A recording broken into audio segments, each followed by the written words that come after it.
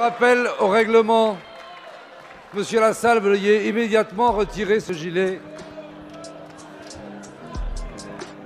Monsieur Lassalle, s'il vous plaît, allez manifester hors de cet hémicycle. S'il vous plaît.